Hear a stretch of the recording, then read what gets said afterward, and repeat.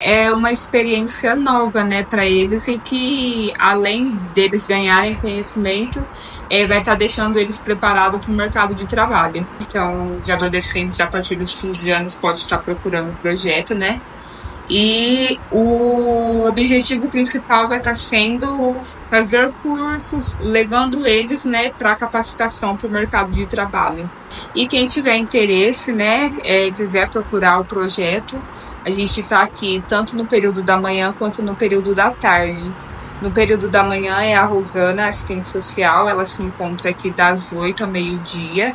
E no período da tarde eu dou sequência, estando aqui da 1 às 4. E de quarta e quinta a gente está da 1 às 6 direto. É, os menores de idade, né, tá sempre acompanhado de um responsável com os documentos necessários, que é RG, CPF, certidão de nascimento e um comprovante de escolaridade que é muito importante. Lembrando o endereço de vocês, algum telefone de contato? O telefone para contato tem o meu, que é 18 998 17 2992. Pode estar entrando em contato. O endereço aqui? Aqui é a Rua Salgado Filho, número 354, próximo ao Correio e à Mesquita Embalagens.